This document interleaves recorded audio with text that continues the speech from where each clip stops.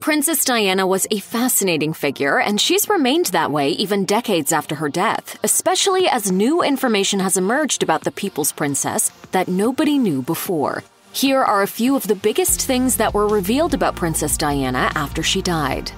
Sitting in a London cafe one morning, longtime author and journalist Andrew Morton made a discovery that would change his life and the world forever. In his sensational 1992 book, Diana Her True Story, in her own words, Morton detailed the first time he heard Diana's quote, unmistakable voice on an audio recording that had been placed in his possession. It painted a vastly different portrait of the princess than anyone in the public to that time understood. He wrote of his discovery. It was like being transported into a parallel universe, the princess talking about her unhappiness, her sense of betrayal, her suicide attempts, and two things I had never previously heard of bulimia nervosa, an eating disorder, and a woman called Camilla. Diana had recorded these tapes with voice coach Peter Settelen as a form of therapy. According to a 2017 article in The Telegraph, the vocal coach sold Diana's tapes to Britain's Channel 4 after her death, much to the dismay of Diana's family, who claimed ownership of the tapes. There's just nobody to, to, to um, physically scream at or someone put their arms around me, just listen. Diana's personal tapes were first discovered when the former royal butler to Diana, Paul Burrell, was found to have been hoarding them after a 2001 police raid of his home. The discovery caused great controversy. Diana's former butler was reportedly found to be holding on to more than just Diana's private tapes. He had also accumulated more than 300 other items once owned by the late princess, including articles of clothing, photos, and letters to her family. But in 2002, Burrell was found not guilty of the theft of Diana's possessions after the Queen herself stepped in to clarify the situation. Queen Elizabeth explained that Burrell had previously asked permission to take some of Diana's personal items. Burrell was subsequently acquitted of all charges in 2002. After news of the existence of Diana's tapes was made public, The Sun reported that Peter Settelen, the man who helped Diana record the videotapes in the first place, was suing in order to reclaim what he believed was rightfully his. Eventually, Diana's tapes were placed in Settelen's possession only to be sold by him to NBC in 2004. In tapes released after her death, Diana starkly recounted her experiences with self harm and even suicidal tendencies. She also spoke frankly about her experiences with depression, bulimia, and the stressful effects of Prince Charles's extramarital affair. Marie Claire published some of the audio transcripts from these tapes in which Diana revealed. We stayed up there at Balmoral from August to October. I got terribly, terribly thin. People started commenting, Your bones are showing. By October, I was in a very bad way. I was so depressed and I was trying to cut my wrists with razor blades. I came down early to London to seek treatment not because I hated Balmoral, but because I was in such a bad way. But Diana's self destructive behavior didn't stop there. In a Daily Mail article written by Andrew Morton, Morton references an instance of self harm that was detailed in the Diana tapes provided to him. In those tapes, Diana said, when I was four months pregnant with William, I threw myself downstairs, trying to get my husband's attention for him to listen to me. Unfortunately, the attempt didn't faze Charles, whose reaction Diana described as, quote, just dismissal. Many people knew or heard rumors of Prince Charles's infidelities while he was married to Diana, but prior to her death, not as many members of the public knew about the princess's numerous affairs. Ken Wharf, Princess Diana's chief bodyguard, wrote of Diana's affair with cavalry officer James Hewitt in his 2002 memoir, Diana Closely Guarded Secret. The pair met at a party in 1986, and according to Wharf's memoir, it was clear from the way she spoke that she adored the man even after the affair had cooled.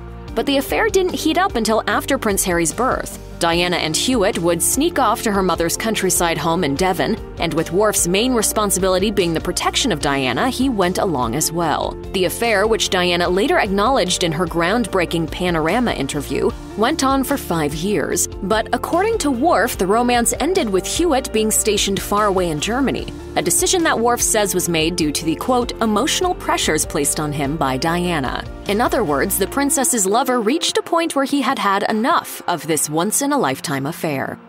Barry Mannakee was a bodyguard and alleged lover of Princess Diana. Curiously enough, in the spring of 1987, Mannakee was killed during a motorcycle accident after being thrown off the back on his colleague's bike. In the tapes recorded by Peter Settelen, Diana spoke coyly of Mannakee, saying she was, quote, only happy when he was around. When I was 23 25, I felt deeply in love with somebody who worked in this environment. Mm. And he was the greatest friend I've ever had.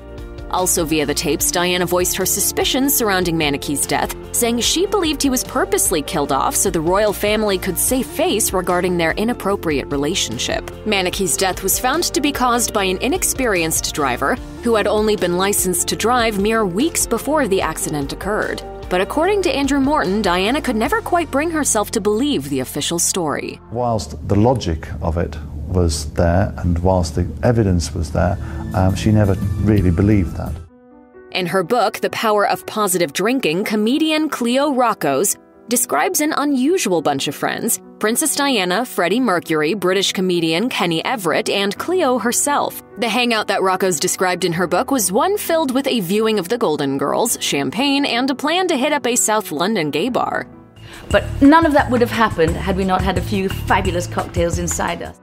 Rocos recounted, Freddie told her that we were going to the Vauxhall Tavern, a rather notorious gay bar in London. Diana said that she had never heard of it and she'd like to come too. In order to avoid potential tabloid drama, the group disguised Diana as a man, allowing her to effortlessly sneak into the bar and enjoy an undercover night out. And thanks to Mercury's overwhelming popularity at the time, she did. As the comedian described, she just wanted the thrill of going in undetected to order one drink and would then leave right away. She wore the outfit Kenny had intended to wear a camouflage army jacket, hair tucked up into a leather cap, and dark aviator sunglasses. They were royals, but underneath it all, Princess Diana and sons William and Harry were a regular family just like any other. Former royal staffers have made it clear Diana wanted her boys to have as normal an upbringing as possible, even while growing up in a literal palace. William and Harry had royal chefs and nannies at their beck and call, but Diana was a famously hands on parent. In particular, as her former butler, Paul Burrell revealed, Saturday nights were their special time together. As he recalled, quote, the three of them would nip to McDonald's for a Big Mac and fries before coming back to watch Blind Date that being the classic British dating show hosted by the legendary Cilla Black. The family's penchant for McDonald's is well documented, with former palace chef Darren McGrady previously telling Marie Claire that Diana once told him to cancel lunch so they could hit up the fast food institution instead. McGrady offered to cook them burgers and fries himself, but Diana clarified the boys were after some Happy Meals so they could get the toys too. Princess Diana's romantic relationships were consistently tabloid fodder, but according to one royal expert, the real love of her life may have been someone you've never heard of. Emma Cooper, the executive producer of CNN's docuseries Diana, told Us Weekly in 2021 that Diana was actually head over heels for a heart surgeon named Dr. Hasnat Khan, whom she'd met in a London hospital, but she knew they could never be together. The two reportedly shared an extraordinary long relationship, and the Princess of Wales was at one point even ready to marry him. Sadly, such a union wasn't possible, partly because they came from two completely different worlds. As Cooper explained, marrying somebody like Diana comes at a price, and Khan, a respected doctor, couldn't risk losing his status in the community to be with her. As a result, he broke Diana's heart, which ultimately led her to initiate a relationship with film producer Dodi Fayed. Fayed was the wealthy son of billionaire Mohammed Al Fayed, who owned the luxury department store Harrods. As a result of his privileged upbringing and life as a Hollywood film producer, he was much more suited to the limelight that comes with being rich and famous than many of Diana's other lovers were. Unfortunately, their romantic relationship would end tragically the same year that it started, when they both passed away on one fateful night night in Paris. In an interview with The Sun, firefighter Xavier Gourmelon revealed what it was like to spend the last moments of Diana's life with her as she suffered fatal injuries in a car accident on August 31, 1997. Speaking in 2017, he recalled, The car was in a mess, and we just dealt with it like any road accident. We got straight to work to see who needed help and who was alive. According to Gourmelon, the princess was initially breathing but suffered cardiac arrest. He described her reaction as she was initially removed from the wreckage. I held her hand and told her to be calm and keep still. I said I was there to help and reassured her. She said, My God, what's happened?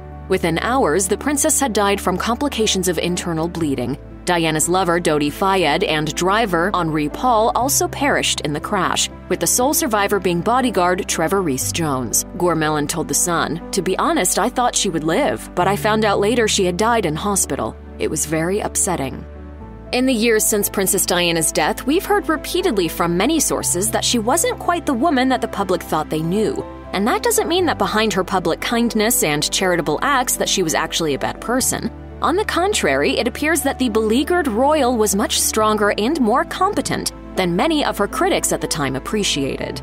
In an archival clip featured as part of 2021 CNN docuseries Diana, the princess and her new husband, Prince Charles, take part in a cringeworthy interview during which they unconvincingly discuss their hopes for their future together. In particular, she sarcastically makes a quip about being a good wife, joking that she couldn't be honest with Charles sitting right next to her. As Angela Rippon, who conducted the interview back in the day alongside Andrew Gardner, reasoned in a follow up chat, that small moment was one of the many instances in Diana's life in which she showed the kind of person that she really was tougher than expected and not one to conform. She recalled, there was something more to Diana, something that was not the marshmallow or the Play Doh that was going to be molded into what they wanted. Underneath it all was Diana's unbreakable sense of self, which would ultimately lead to her divorce from Charles. In breaking from the mold of what a royal wife was expected to be, she set a new standard for the royal family, establishing herself as a unique and modern figure who still fascinates us to this day. Check out one of our newest videos right here, plus even more list videos about the royal family are coming soon. Subscribe to our YouTube channel and hit the bell so you don't miss a single one.